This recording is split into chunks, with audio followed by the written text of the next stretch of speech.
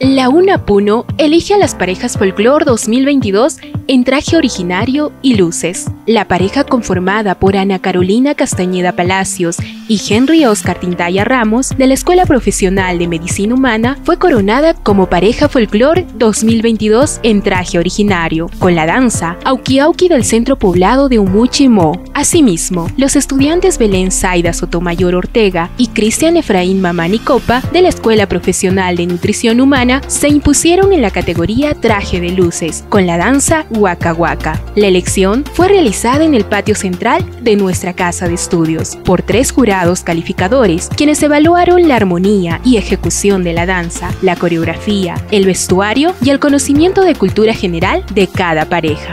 En la categoría trajes originarios, el tercer lugar fue ocupado por la pareja odontológica Marjorie Torres Luque y Carlos Gómez Ticona, con la danza Callaguayas de Cuyucuyo Sandia. Mientras que en el segundo lugar fue alcanzado por Ariana Iracema Jaén Cutipa y King Álvaro Larico Mendoza de Arquitectura y Urbanismo, con la danza Huifala San Francisco Javier de Muñani. En la categoría Traje de Luces, Giovanna Caguana Moroco y Luis Santos Chambilla Panca de la carrera de arte alzaron el tercer lugar con la danza tuntuna, mientras que Stephanie Ponce Quispe y Miguel Subí Salas de Ingeniería Geológica ocuparon el segundo lugar con la danza morenada. Durante su participación, el rector Dr. Paulino Machacari sostuvo que la elección de la pareja folclor hace antesala a la entrada universitaria, suspendida por dos años a causa de la pandemia del COVID-19.